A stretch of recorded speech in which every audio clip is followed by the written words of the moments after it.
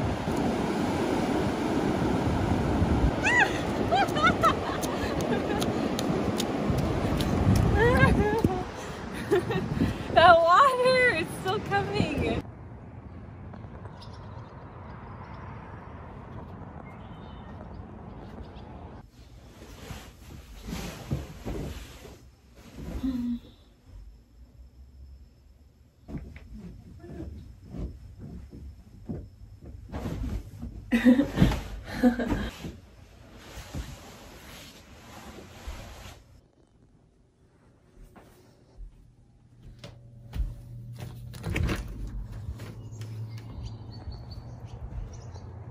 ha ha.